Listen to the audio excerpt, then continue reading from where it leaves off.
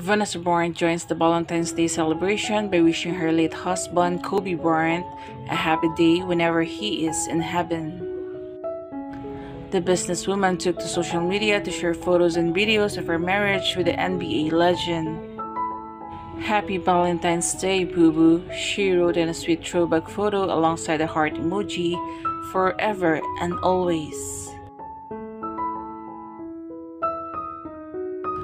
Vanessa's post also included an Instagram reel from a Kobe fan account that says, I think I would describe love as happiness. Things are never perfect, but through love, you continue to persevere. I think love is a certain determination, a persistence to go through the good times and the bad times with someone or something that you truly love.